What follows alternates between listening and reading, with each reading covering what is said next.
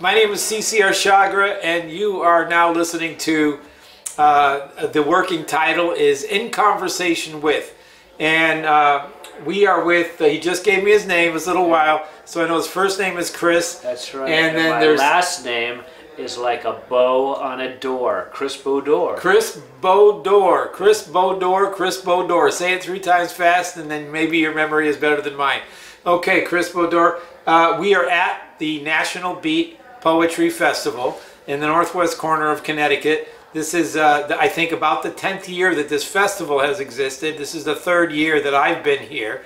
Um, and we, I'm surrounded by people who are uh, interested in Debbie Kilday's vision of uh, reintroducing that there are a modern wave of, of poets that are of the beat generation and that beat literature is, is, is, is, a, is, a, is a birth seed that happened and it is still growing and it is still blossoming and it is not stuck in some sort of small-minded oh this is who the beats were this is what they did and now they're done. Not even at all. So debbie's vision is to say that that was a child and it is now 10 20 30 40 50 60 70 80 100 200 years old and we are on that arc and these individuals here believe that they are in that wave of uh, uh, not really not competing. I'm going to say that out loud. This is not a competitive sport, and these are people who have given their lives maybe 10, 20, or 30 or 40 years of their lives already or more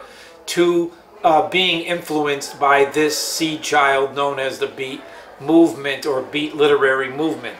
And so in the future, I just might have conversations with people who are intellectuals, whether, whether they're physicists or painters or anything like that, but here and now to begin with Ron Whitehead, and when you hear his story, which is what happened in the first interview, is my participation in that conversation was to be a really good listener because he has a story to tell and names to drop. But he's not dropping names, he's dropping wisdom, and there just happen to be names in the story of his wisdom.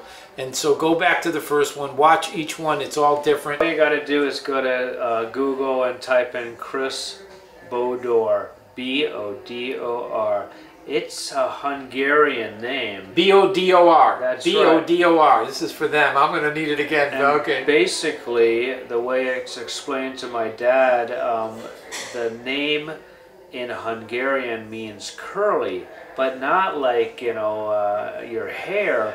It's like a wisp of smoke that goes up a chimney and that is Bodor. Oh yeah, wow! Yeah. Okay, cool. So you know that's that's my lineage, and uh, so. Okay, so we're gonna go yeah. human, alien, and beyond in this conversation, mm -hmm. or we're gonna go there. I don't know. So, any place you want to start, or do you want me to drop a seed of some sort? How did I get here? How did I get here? So my first question to Chris Bodor is, where are you now? Man, I I just got to do 15 minutes in front of people who lifted me up, man. Push that door yeah. close for me a little sure, bit. Sure, sure. So, you know, being at this festival, I'm here because... Um, you read, but they lifted you is what you said. Well, no, they lifted me to this um, platform. Uh, I've been lifted to this forum to um, present my work and then take the distinction of Florida Beat Poet Laureate for the next two years and bring it back to Florida. And now the stuff I've been doing for 35 years, like right out of high school, putting pen to paper, going to open mics, you know, that whole repetition and trying to get published and having open mics and now I'm coordinating St. Augustine Poetry Festivals, and now with this elevation being named by people I didn't even know, it's a, another level. It's like they just found you. They did, yeah. Wow. And, I mean, I mean, let's think about the Beat Poet Laureate. Like, what the heck is that? Yeah, good question. All right, you know, so Amanda Gorman spoke at the inauguration, uh, and she was the Youth U.S. Poet Laureate. Well, that means that Of the of the of the beat thing. No, Oh, oh no. oh, she just was okay. Yeah, of she- the United States. Yeah, Amanda Gorman, a young, talented poet, was invited to the Biden inauguration. Okay. And suddenly all eyes were watching a Oh, this is this is the little black girl. That's right. Okay. yeah. So, All right. I so- should have known but- that. But, she was given that opportunity Right. because she was the current U.S. Youth Poet Laureate. So that's a government appointing type of thing. It was like the U.S. Congress appointed her, Right. and um, but I'm sure she had to apply. I'm sure she had to, you know, be uh, in competition with other youth Yeah, who are just as talented. Yeah. But with Debbie and what the, what uh, she is, it's the beat poet laureate from different states and so forth, Right. and they go and find us. I mean, when they named um, the Hungary. Uh, for the country of Hungary, they have a lifetime beat poet laureate, and the way like Is it a guy? it's a guy, yeah. Is his name Gab- Borg? No, Gabor. Gabor. Yeah, Yeah. he was And- here last year. Oh, I know, I think- and and, I interviewed him. He sat on his couch. A different Yeah. project called Docu Dialogue Okay. is another project I have, and, and Gabor was one of the first people. It was an experiment in no communication. Okay, well, No. but he's very talented, and his English is fantastic. Yeah, yeah, yeah. And, I'm almost positive we're talking about the same no, guy. Just in we are. Okay. we are, and um, Big guy. yeah, Yeah. a very uh, large stature, but um, the Yes. way he explains it, because you know, someone interviewed him and like, oh, wow, you're you're the uh, lifetime uh, beat poet laureate for Hungary. You know, how did you get that distinction? And I thought he was very eloquent the way he explained it. He's like, these people found me and have named me, and there's so much honor in that Yeah. because when the title of poet laureate when it's on a government platform there's taxpayer money attached to it All there's kinds of politics. there's agendas Ah. and i thought I call that the "What's in it for me" factor. yeah and i thought that maybe i could aspire to that after all these years if i've been running an open mic in my city every last sunday since august of 2009 Uh-huh. that should give me enough credibility in the area Mm-hmm. to just give the guy a title type of thing you know Yeah. make him make a poet laureate program give it to chris then let chris figure out how future poet laureates will be um, And is that, is that what they said? No. Um, they said we'd prefer to have someone else do it. And, Okay. And so then, then this I'm, happened. I'm, I'm, uh, I, I just love being here. well, And if I didn't say so, we're, I did say so, we're at the National Beat Poetry uh, Festival in the northwest corner of Connecticut. And, uh, and Debbie Kilday is, is the uh, executor, founder of this. Uh, it's an LLC. It, it Yeah. is. It's straight up on the title. And um, this is the kind of work she's doing.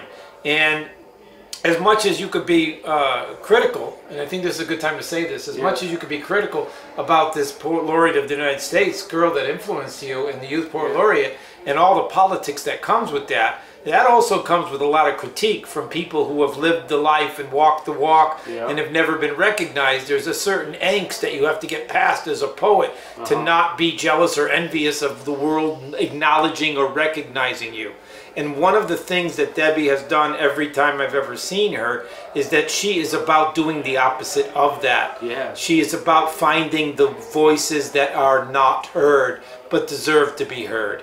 And that is her understanding of that the stigma that has been that has been attached to beat poetry uh, over the years from the media, you know, the dirty hippies and stuff like that, you know, get a job, cut your hair, you know, all these other little things that happened during that generation where children started to think for themselves and blew their parents' reality out of the water and questioned it, thanks to Vietnam and thanks to early media before, you know, the, and rock and roll and, and, and the slave song, R&B, jazz, the blues, rock and roll. There's a tree there that goes back to you can't take away our voice. And B, I think, in my little humble opinion, is in that tree. And that tree can't be killed. Civilizations could die, but that tree is going to come back. And I think that's one of the things that Debbie has done it. If it comes with some politics and some stigma, those are the slings and arrows that came with her decision to uh, to make this uh, a business. But at the same time, I think as long as the founder and her heart is at it, how she hands this off is probably going to be one of the one of the uh, trials of of whether or not uh, the integrity of her vision can be upheld. And I think that's true with every artist. And one of the reasons that I'm here also is because in the book, and if you don't mind, this is a conversation. Yeah. So I'm in the book this year because I, I wrote a poem Cool. about, I was in the documentary, Who Owns Jack Kerouac? Jack Shea. And, and Jack Shea was one of the first people to say you. And he gave me a quote out of nowhere. I didn't know him. He goes, one of the most, uh, he gave me some nice, in America of all the poets. So he came to America. He was in, uh, Jack Shea was in uh, London. I and there was a school. And the school opened a film school, and he was at the onset nexus of that. I don't know if it was named after him or not, but he decided he didn't want to do that, even though even though he was like at the nexus of it. so he Yeah. decided to just up and leave that. He got in touch with this person who wanted to go with him. He flew to America and lined up a 50 stop tour of people who knew Jack Shea and who knew the story of Jan, his daughter. Okay. So Jan was friends with my friend Buddha Paroli, uh, Buddha, H-A instead of A-H. Oh, okay. And, and John Paul Paroli was in this documentary, and it was about what happened to Kerouac when he died, Oh yeah, yeah. and his will, and the typewriter, Yeah. and, and Gerald Nicosia, and his work, and how he got locked out of his own work, Yeah. and how even even uh, even uh, even the Kerouac Foundation. This documentary is now wiped from the internet as far as I can see. There are bootleg copies still floating around, Okay. and the wife. I don't know where the rights of or it is, but whenever it surfaces, it seems to have. There's a power structure that wants to push this down. But the documentary is about you can't do that. The documentary is about here's Jack, here's Okay. his ashes. Here's his daughter's story that he denied. Here's what happened to both of them. They're dead. So Buddha kept coming to me and said, write a poem about it. I go, Oh. fuck you. I don't write poems because somebody told me to. But I Oh. went home and I had an epiphany and I took Jan Kerouac because I'm listening to him. Jan's getting sick. Jan's dying. Jan's Yeah. living on a poem a day. Fucking potatoes. Uh, Ginsberg is her godfather and threw her out of her father's memorial when she went to go see it. yeah. She was an abandoned daughter. She had a rough childhood, and now they're taking. And now she's living on no money. And the Kerouac Foundation cut off her funds uh, to, to her her book, Baby Driver, and some other one. And they're good prose books. She was a good writer. She only met her father twice in her life. So he puts all this information into the documentary and actually gets an interview with Sampas. oh wow. And the story of Jack Kerouac, his three wives, and his Uh-huh. will, and then all the court cases, which is not even in the documentary. The, num- the where it went to the, I think it went to the Supreme Court. It's a huge thing. Oh, I know. But in the documentary, he ends it, especially in the early versions. I think there are cut versions and early versions of this. I happen to have a VHS Okay. uh, of, of one of the earlier ones, and he in this documentary ends it where the entire thing what matters is that you cannot kill the voice you can't even own him as an icon and a product and an ai and go see jack kerouac at a museum Okay. he's going to be he's going to be a, a, a, a hologram and, and then they just market and then own all of it uh-huh. and it, all that money goes into one place because they've branded fame. They've Sure. branded a poet, and they and they and they're gonna now and now they're gonna get a cash register at the at the corner of it, and behind that cash register is gonna be a foundation, and that foundation is gonna be what money laundering in the end. And some of them, okay, these are hard words, but this is an open interview. Yeah. So and that's where we are. So that's what this dialogue is about. Is it gives us a chance to say something. And I'm I'm uh, uh, voicing up on this is the second time that I've kind of like jumped in on it, but but uh, but it's an important. You invoked it, you know, Yeah. because because the, because the importance of him being here, the importance of him getting recognized, him getting a tap on the shoulder from life. It's like there are 3D angels. You, Uh-huh. you don't have to wait. If Debbie's doing angel work And at the same time, she doesn't want to get screwed over by people who have money and control. Maybe she decided to play inside that world in order to not be played. She's to a certain degree, but her integrity is, is steering the ship. Yeah. She's steering the ship of this whole thing. And so uh, that's where it is, that's where it's going, and there's been nothing but beautiful people showing up. And everyone that I've met here has the same gratitude as what he's saying. It's like some, and I and I can mention my friend Ken Field at this point in time. He was an individual when I was just doing poetry out of nowhere. Oh, and he had this he had this jazz band, Okay. and every every, every uh, uh, Thursday night he had from eleven till one in the morning. He had uh, this he, the board of education. He got seven guys and he stood them up: drummer, sax, bass Uh-huh. player, guitar, uh, keys, whatever. He stuffed them onto this little stage and he stood that in front. the name. The Yeah, the Board of Ed- Education was the name of it. And he did this for two hours. And I was driving horse carriage, and so I got out of horse, and I, if I it was Thursday night, I grabbed my camera equipment, I packed Yeah. it, and then I get on the train. And if I was out by nine, because Thursdays sometimes you get out early, and if I'm lucky, I would show up at eleven, and then he would let me write from eleven to twelve, take a break, and then when he came back, he let me get up and read what I just wrote. Oh my goodness. And I did this, and that got me into the Zen Bastards, another Sure. experimental project. And in that time, uh, the, the Mos Def and Brooklyn was coming up with the Poetry Jam, and that was happening. But in Boston, it, it, Jeff Robinson decided to start uh, the Jeff Robinson Trio, and they just did a 25th anniversary. Every Sunday, a jazz band backing the whole thing. All these stories, and I can't get into the details, and I'm sorry if I'm missing pieces right now, but it has to do with poetry and art comes up from the bottom.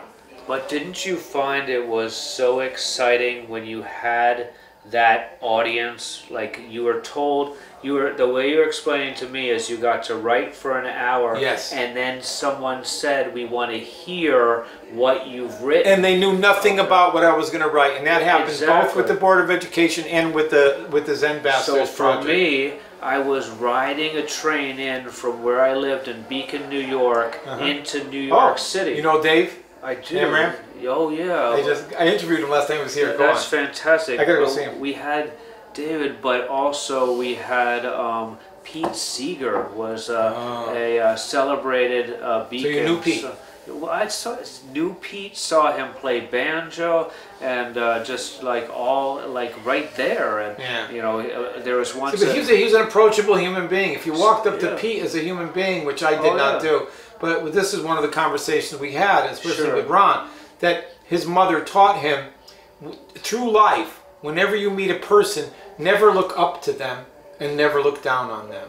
And he's done that. And when I met him, that's the feeling I got. I'm going to say what I'm going to treat him like a human being and a Sure. person even though I want to and I'm tempted to, oh, please acknowledge me, talk to me, say something, or I'm going to say something controversial because I'm not as good as you. And those things don't matter. And what I Uh, did, and the same thing happened with Dave, and the same thing happened when I met Jack Shea, Yeah. and the same thing happened when I met Steven Tyler, and the same thing happened okay. when I met uh, um, uh, Patti LaBelle's husband, Armstead Uh-huh. Edwards, and, and Bruce Springsteen's producer. They're people.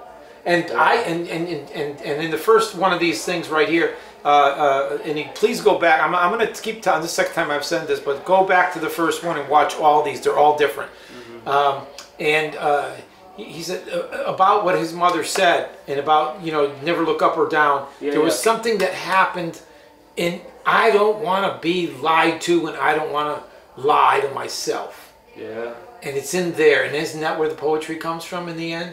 Yeah, but I So didn't, let me let's I go let's go deep. that. Where does the poetry come from?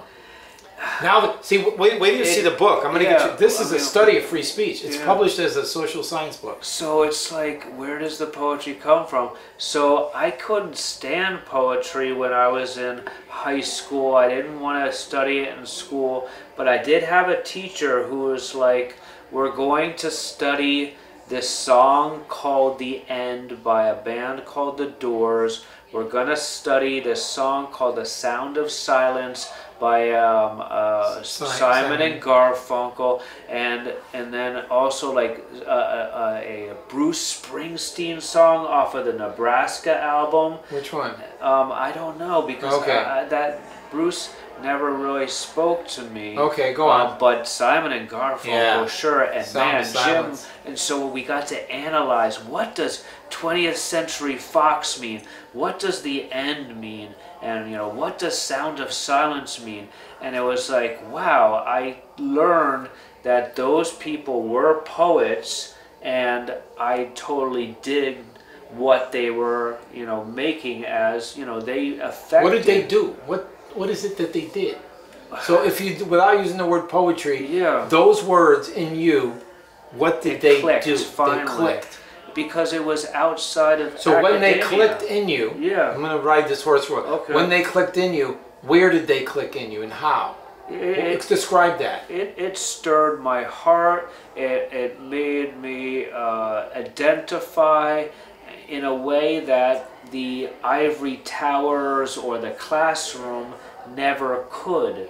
I, I just didn't dig this Henry, I mean, This- Wordsworth yeah, so and this- Sylvia Plath and Yeah. all the, and it's like, I just don't, you know, feel this. Yeah. Uh, but then when it was like, hey, did you know that every song on the radio is poetry in some way? Then it was like, oh, I can get into this. But I brought it into college wanting to be a filmmaker. I wanted to tell stories. All right? I didn't want to do poems, I didn't want to write books. I wanted to tell stories. And how can I tell a story? It's got to have a beginning, middle, end. You heard my poetry today. I set something up, then there's a plot change halfway through, then a conclusion. The character has changed. This The is your voice. This is how Yeah. you write. But it, that's that's It's screenwriting. That's screenwriting Yeah, 101. wow, wow. It's 30 30 30. That How do you? Oh man, I want to get back on the other horse, but I'm gonna have to follow this one. How do you handle the necessity of conflict versus the uh, need to open the mind? I need Is it a good question? Uh, yeah, I Okay. need to tell a story that someone can identify with because they've given me three minutes of their time. That's valuable. Okay. They could have walked by, but they stopped and they listened to what I had to say. That is an honor yes. that I have. Yeah. And and I'm not taking anyone hostage. And how dare I spend three minutes of their time confusing the shit out of them, Right. saying something that uh, I don't know what you're talking about. You might as Yeah. it's Greek to me or what Yeah, have you. And so how about I stick with everyman stuff? How about I stick with stuff that blows through gender because everyone's had a relationship, so they can relate to that. Or everyone.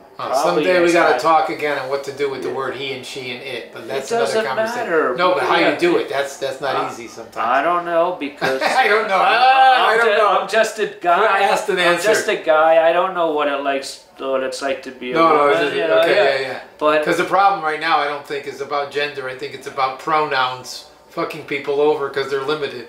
But go I'm a, on. I'm a journalist, and Oh, when you journalist, use, filmmaker, when poet. you use the word That's a nice they, combo. Yeah. it's like there's a bunch of people. It's they, right? Yeah. Oh no, there are a bunch of people in my head, in my body, or what have. so where's them if they are in your head and body? Where's don't them? know, man. Oh, I love I this. I love this. Two I don't knows in a I row. mean, get me My radio show for three and a half years. The name of it was the I Do Not Know Show. Oh, I The see. tagline: Yeah. In the middle of the night, in the middle of the weekend, on the middle of your forehead. The I Do Not Know Show. Radio is our it, yeah. three and a half years from 1.30 until 3 a.m. Oh, that's Prime brilliant. time. yeah, that's bewitching hour. Yeah, it Uh, was right fun. It was 3 experimental. Uh, radio was art. I called it experimental radio. It's exciting. It was man. fun. It was fun. Yeah, I mean. I, I, I brought you up to like my college experience where um, I started to, uh, you know, I went from high school learning about rock lyrics and I went on this filmmaker path to tell stories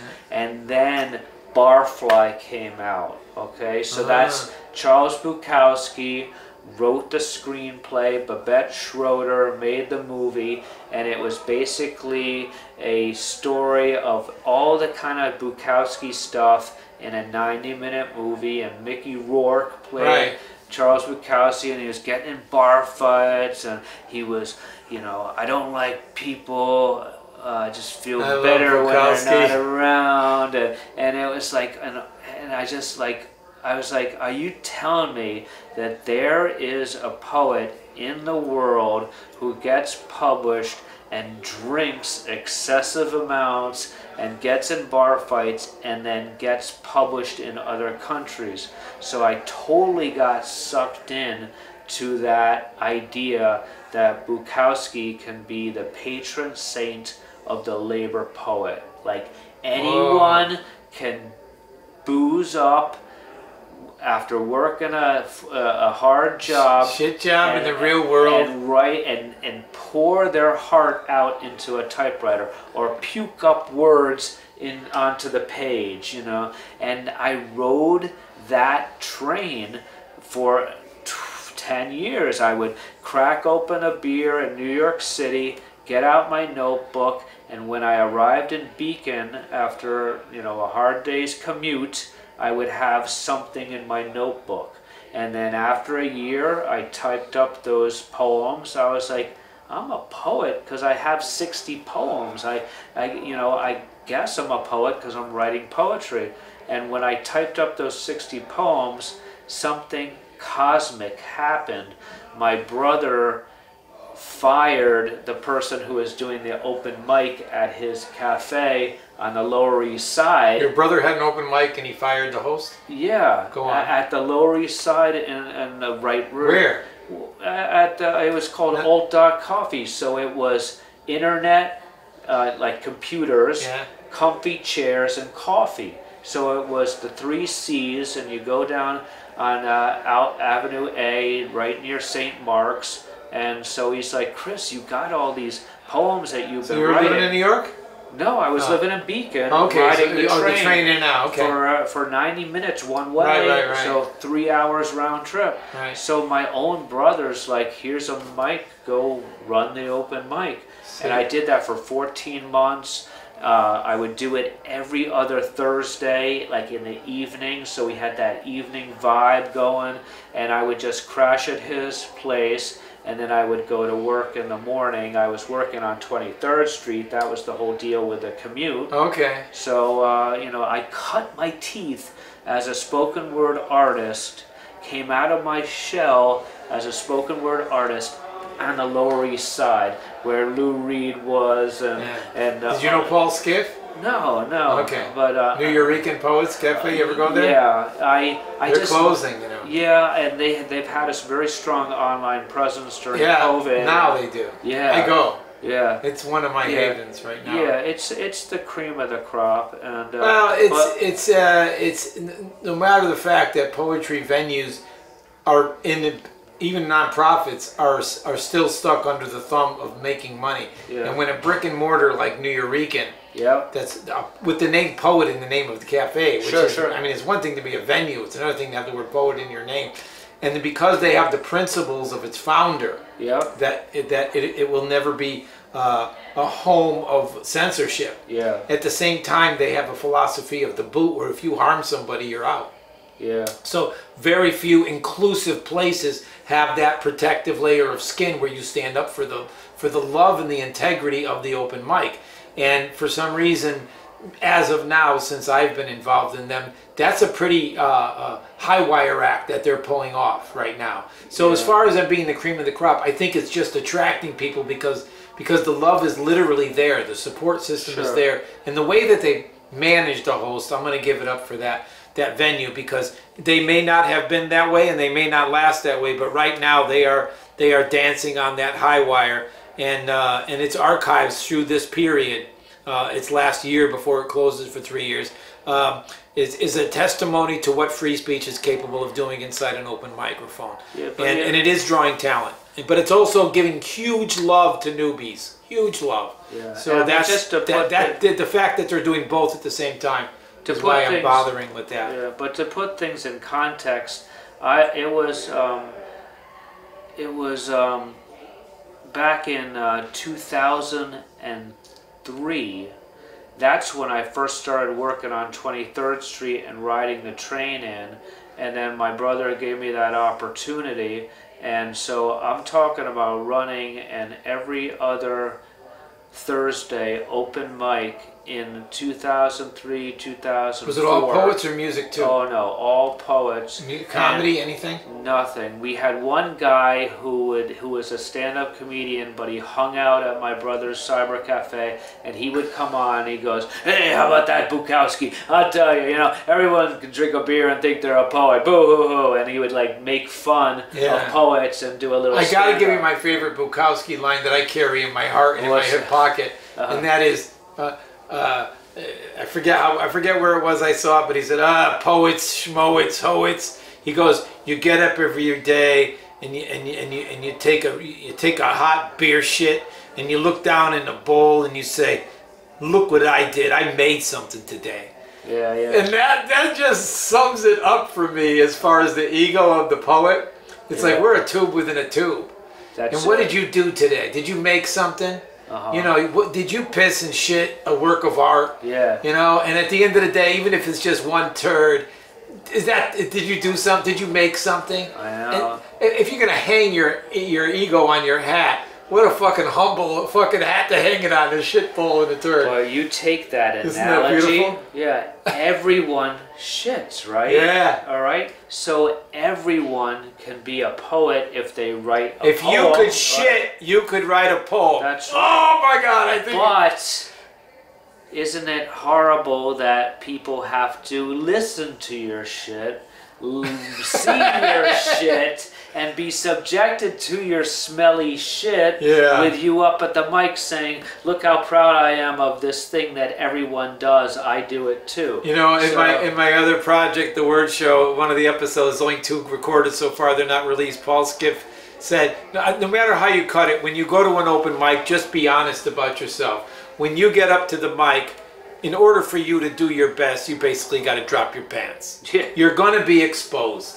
Yeah. And, and my book is all about that. Uh, uh, uh, Cobalt Poets, Rick Lupert, uh, called that the good, the bad, and the Arshagra. Oh yeah, yeah. He does good work in California. Man, You know he- him? Well, I just know of him. Did you, have you ever did you ever go to Steve Cannon's? He's not here no more. I know. I was published by some of Steve's imprint back in the day. Yeah. But you know what? When I was talking about putting things in context, Yeah.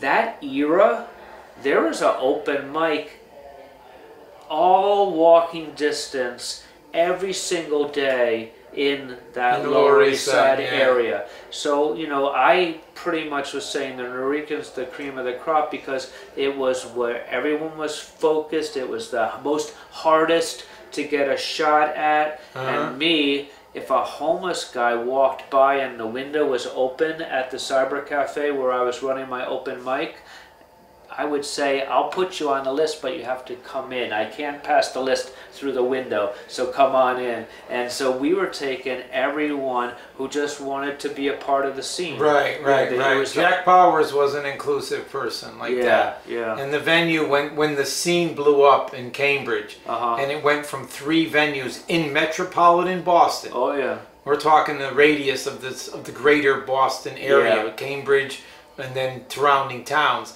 There were basically three venues a week. Uh huh. It was Stone Soup. It was uh, the Naked City Coffee House. I there was the Vienna Coffee House, but that was in Club Passim, but they were folk music. Uh-huh. And then there was uh, one on Beacon Hill that had a humble crowd. Yeah. Uh, I forget the name of it. It's it's it's the uh, begins with an A. It means artist space. Uh, Oh, okay. L L. I forget the word. Anyway, and and that was pretty much it. Every week long there was three open mics. Sure. Mon- Monday, Thursday, and uh, I forget what day the other one was But, on. but Steve was doing amazing stuff, and he had a real vision, and everyone really gave him accolades because of what Steve Cannon was doing. Yeah. Really, uh, you know, and, and It's about giving people a voice. yeah. and it's in the the the uh, the when it went from the three venues to 30 in a week Yeah. in that in that wave the boston globe came out and covered the explosion and, and i got mentioned out of nowhere and that is what launched the three chapbooks which 20 years later is now that book right there But wasn't there like the PBS series too, where they went all across the United States? i didn't know pbs has an open mic stories series From that era, because there were like cameramen. Open mic poetry? It was like I don't know about way- this one. the- Do you know the- the remember the name of it? N- It's like um, sta- state of poetry. There's- Was it in Florida? No, no. Was it out of Connecticut? Who did it? Because uh, whenever PBS you do you're saying? Yeah. PBS sometimes is bought. Uh, uh, NPR is mostly True, national, true. but, But- NPR is Washington based. there were situations. And there where are states with no NPR People and were coming to my open mic saying that they wanted to shoot certain footage because of the national excitement of the poetry movement, and I don't know what it was that was the catalyst for that. Uh-huh. Um, but it just Because it's the edge of democracy.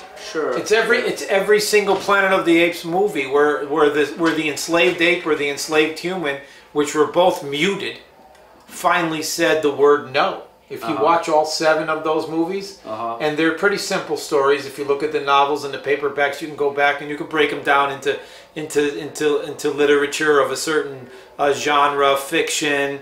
And- Sure. But really, the nexus of them, just like in the Hunger Games, Yeah. there's a real hard truth at the center of that that you don't have to wait for. This is now.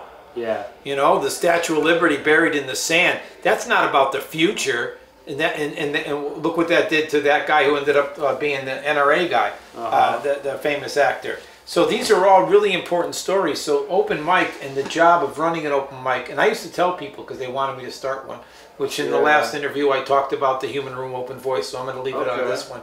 But it's a project I started to to take that seed of the open mic and say there's no democracy on the internet. I'm going to make one, and I'm going to. So that's another whole story. I'll get. We'll do. We'll go that later on. It's in the last one. Sure. So, um, but it's really important that when you have no- when there's no voice left and no hope left, and it- and you, you talk about parents right now, and they're saying they're 15 16 17. You know how many times I've- I've heard somebody my age is like, "I'm really glad I'm old." Yeah. You, that, Well, that's know- not okay. That's not okay. I mean, imagine if you're a teenager and your parents are all saying, "Boy, I ain't got to live through these robots. I'll be gone by the time they take us over and chip us and enslave us." And and parents are now getting a little complacent about these words leaving their mouths. When in the meantime they're upgrading their phones and they're pressing that agree button. Have you ever read that? I wanted to do a podcast called the Agree Button. Have you ever read them? There's an agree button. Listen to this inside the Samsung upgrade, which is becoming Oh, more okay. like Apple now. Yeah. And one of them, there's a there's a inside the, the privacy policy or other privacy policy you have to Oh, click on to oh, read okay. another chapbook Yeah. and another novel. inside terms and conditions, there are other versions, and inside one of them, it literally said, "If this device kills you, it's your fault." Okay. It was in the wording. It wasn't, and, but you had to go like seven. You had to read it for about maybe half. If you're a slow reader, you're a half a day into that's reading a real before you turn your phone on. Yeah, that's a smart person who's No, wired up. Yeah. and is like, yeah, if we get them to click this That's on, not a slave. That's not. That is a slave system.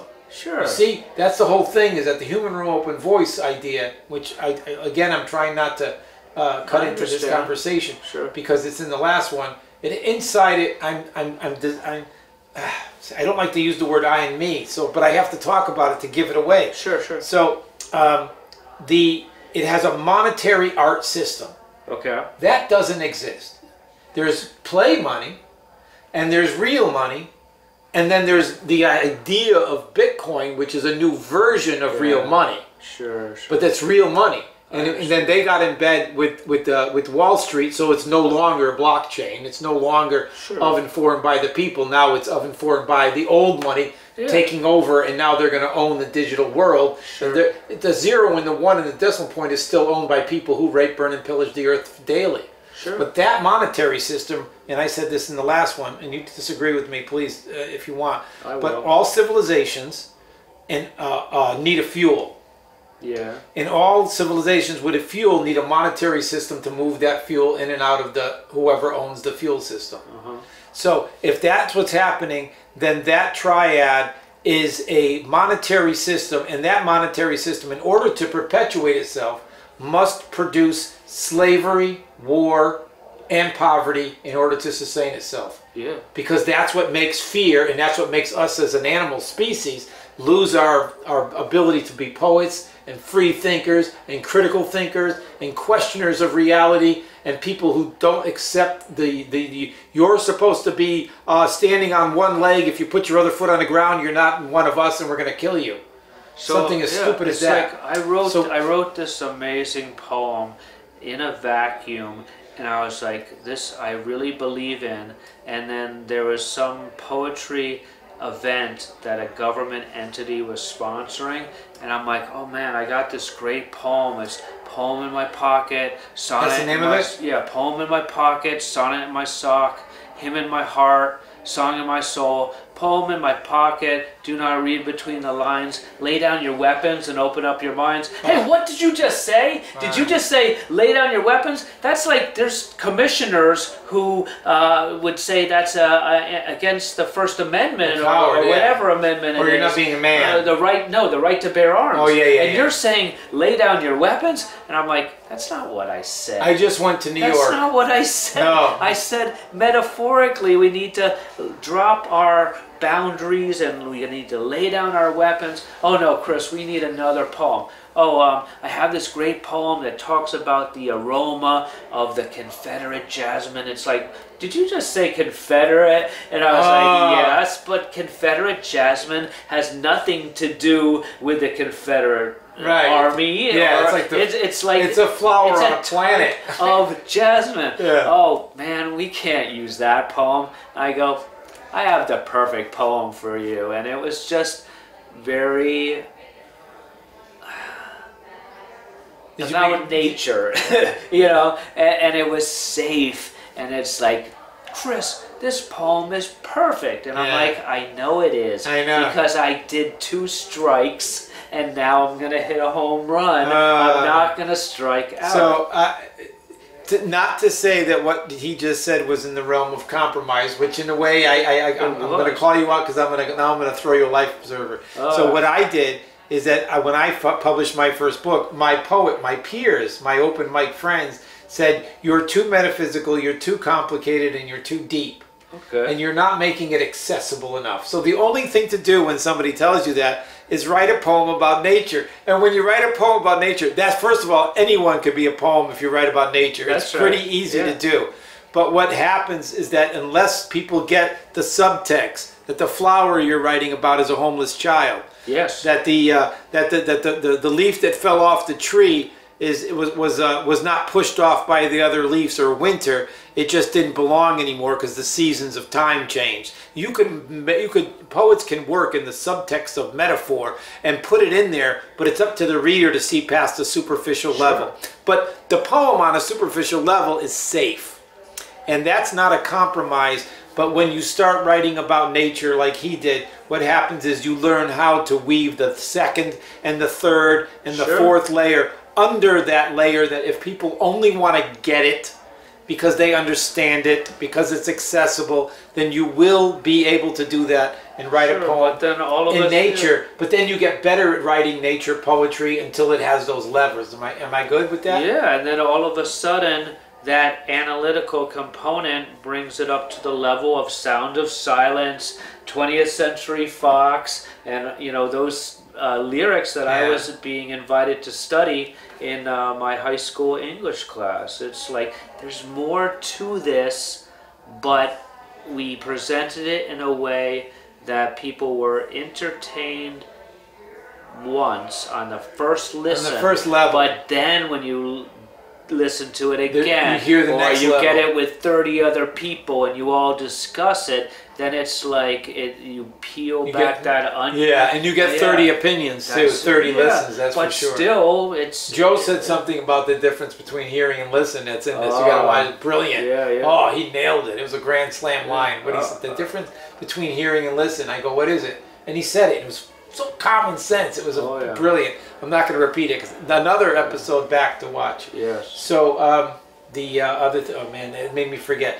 Yeah, that, that this has been fun. By the way, all these are. Yeah. everyone is different. This is a Yeah. completely I mean, different you're one. smiling the whole time. I, I know, you're- that you're having fun. I am. Otherwise, you're I like uh, am. a, a huckster, a No, no, no, no, yeah, no, no. charlatan. Yeah. No, the last one, man, we went deep. It's like S and M pedophile. It's like, oh my God, where are we going with this one? No, and I this- and I and I, and I just I, This I hung on celebration, This man. is a celebration. This is there are beautiful minds all over, all Yeah. around us. There are so many creatives, and uh, and and I got Do you, do you realize what it means to be the Florida Beat Poet Laureate and the connection of Kerouac and College Park? You're alone. no, no, no, no, no. But, but you're, you're surrounded by. Kerouac, Kero, Jack Kerouac owned a house in College Park near Orlando, Florida, while he was writing the Dharma Bums. Uh-huh. Hot, hot Florida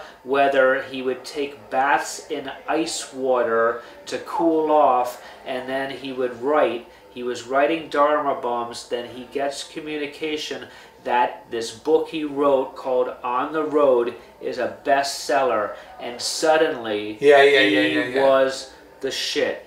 And 11 years later, he was in Tallahassee, Florida, owning a home, and his mom, who only spoke French, he was taking care of her, and he bled out in the hospital at, um, at St. Pete. Yeah, Uh, and, the date. I have it in my poem. That's how I ended up here. The, What- the so- poem I have in this year's anthology is is just four lines from a longer poem Awesome. that I wrote when when uh, when the, Who Owns Jack Kerouac Sure, out. sure. That, so I'm in that documentary because my friend asked me to write a poem, and I said I don't write a poem because people ask me to, especially Yeah. about a person. And I went home and it hit me, and I took Jan and Jack and I made one poem, and I gave them both a voice in the afterlife, and I had them make up. Yeah. And, and in that poem, uh, I, I mentioned something relative to what you just said. It's, Yeah. it's- I'm not going to go I, back I and invite people to St. Augustine, come to Florida, and um, and see. It's a little uh, vacation uh, I, town. should, I should get I should get a tourist little town. I should get a little bus and get a little tour but thing then going. Go a should make little bit circuit. further and go see the Kerouac House. It's Yeah. a it's a writing and residence uh, set up, so you have to uh, apply and then you get awarded to go in that um, Cloister Avenue home and write and write and write, and then. At the end of your residency, they have a poetry reading right there, and you can share with everyone what you wrote with the spirit of Kerouac and pushing you on.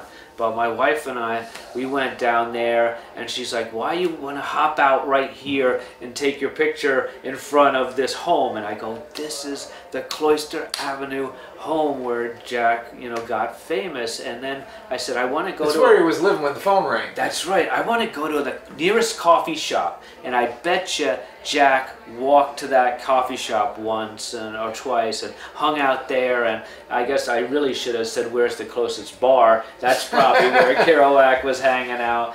But uh, you know, it's just like, man, you know, did Kerouac look at those trees, or how tall were those trees when he was walking up and down this residential area? And it's just like... You see, this is the difference between inspiration and and, and, and, and in talking to Ron to, Yes. to birth this little thing here. yeah, He said, um, and, and, and, and this is going to sound like a repeat because I think I've brought this up almost in every single one. His mom taught him never look up to someone and never look down on anyone. And what happens when people say, Who are your greatest influences? Uh, there is this thing that happens to you that I call when you touch art, be very careful because art will touch you back. yeah, And when art touches you back, the the thing that got you to where you are, to, to find your voice, to be impassioned, to go for your voice, to, to follow the passion and the thing that led you there, once you break through that thread and you do your open mic and you run the open mic and you run it for years on end and you give other people a voice and now you're here because That's you've right. done that Yes. that little seed of I looked up to Jack Kerouac and he influenced me was just it it, it wasn't that was not it the, the the gift was that that was the thing that led you to the door and got you to put your hand on the knob and turn it and open it but Yes. once you're on the other side of that threshold then it's no longer that you were influenced. It's now that you are willing to become who and what you are and ask the hard questions of yourself. Break on through to the other side. Break on through to the other side. That's what you did when you opened up the door, man. Yeah. There you go. The doors of perception. Yeah, the doors of perception. And I'll tell you, man, it's like, what kind of guy was Kerouac? What kind of guy was Bukowski? Um, you can debate it. You Yeah. can debate it. But the fact is, they wrote words that we read, and it changed us. It, it, it, it uh, affected us. Um, my wife is an accountant. I'm an artist. she doesn't get poetry. She's gone to a lot of poetry readings to support what I'm doing and what I feel so passionate about. But she's breaking bread during this festival, Ah. sitting with Ron uh, Whitehead, She's here? catching up. Oh, I gotta meet her. She's catching up with Joe Kidd and Sheila Burke, Oh. who came to our Oh, that house. was- but wait till in she sees all but, these. But they came to our house in St. Augustine, and Joe Kidd was my keynote speaker for my last St. Ah. Augustine Poet Fest.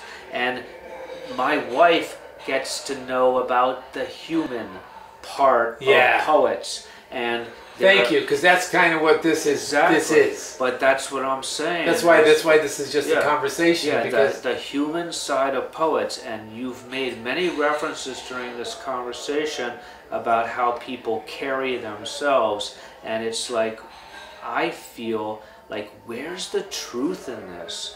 And and I spent ten years of my um, published poet career writing things that might have rhymed good, that people might want to hear, that would make people applaud. And then someone said to me, I respect you, you're a poet, and poetry is honesty. I'm like, I didn't know that. I thought I thought this was a show. you're gonna you're gonna love you're gonna love these and then I said, wait a minute, That this came up. pen has value. This pen has weight. Maybe I should start telling my story instead of trying to entertain. And if I put myself back together and make myself a whole person in this puzzle, if I flip over that puzzle, I'll see that the world has been put back together. So while I'm putting myself back together, the world takes care of themselves. And My I- favorite line in the book is his own dry ink dying to speak back to him. Yeah. And another line in, in another critical poem about that is the machine of art making did not own and breed him. Yes. So if you fall into the fame or the Yes. entertainment and and it's like and this is why I I, be, I wrote a poem at the very beginning of uh, how slam and, and beat collided Uh-huh. with with uh, with uh, uh, Patricia Smith and Michael Brown bringing it from Chicago Okay. into into Jack Powers venue who gave who gave this brand new form a seat at the table and a, and a, and a space at the open mic only for some dark shit to go down because Yeah. business has moved into town and it's not that that that slam hasn't uh, done its thing but it is a different seed in a different garden. It's a different tree. Yeah. but when that tree and those leaves fall and there you become the national champion and the and the and the and the, and the international champion and the best slam poet in the world and you're not a poet you're a performance artist. Yes. and all these things are happening and then there's a con- there's no conflict. That wasn't it. It was meant to it was meant that poetry was so underappreciated for so many of the wrong reasons Yes. because of basically the beginning of his story here in this in this interview, this conversation, Yeah. is that it was it was the same thing that he wasn't attracted to, and then he saw the difference. People see the surface of something. I have I still have that with uh, with opera. I can't feel it. I don't feel opera. It's just cerebral. It's yeah yeah sure the neurons are bouncing and I get it. And the octaves are up there, but it's so mechanical to me. It's too perfect. Where's the sloppiness? Where's the ugliness of life? Where's the where's that naked truth? in and then the- so, the but it wasn't dressing until it wasn't until almost two weeks ago when a friend of mine, Nell, who, who's uh, in the process of saying she's going to uh, actually in the process of, I think it's going to happen, translate my book into Latin. It's like, do you mind if I translate your book into Latin? She said, and I said, Huh. yeah. Uh, yeah, no reason not to. It's like it would be the first translation, but why, why not? You know, if you want to do it, she go, well, can I do this? Can I do that? I go, your name's on the translation. Go ahead. Uh-huh. But I was talking to her because she's also a classical musician, and and she stepped away from it. She's about to step back into it with her grand piano and her full time dedication of what it means.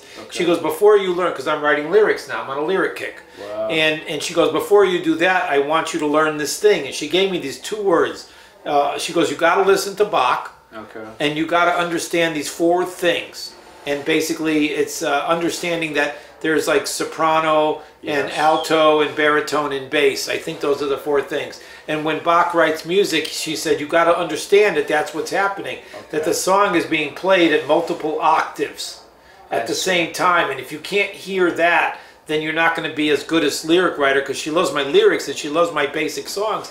But she says in order for it to be a real song this is something you so i'm listening to that for the first time. Kathleen handed me a bach thing and on the way up here and on my recorder on my phone i started kicking some poetry on the way up here and i had a, and i had an idea for two more manuscripts just by listening to it because it did something but my heart was already developed. Yeah. so whatever it was doing to my mind as an artist, the cerebral understanding of the complexity of four lane traffic and when they're which lane are you listening to? They're all going the same way and then can you notice when they cross and stuff like that? That's what she said you have to understand.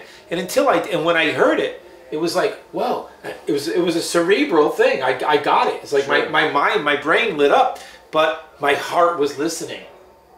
And that's what Ron talked about in the first Yeah. one. It's so important. It's going to be all these are going to tie together, and they're completely different. Yeah. So this has really been br- brilliant, brilliant, and beautiful. You want to keep going? You got something new to say? No, I All gotta right. get. I'm sleepy. Okay, so we're good. So, uh, wow. Yeah, it's a pleasure, definitely. Yeah. I wish you all the best. Well, you don't got to wait. It's like the same manure pile. We all end up in the same manure pile. Yeah.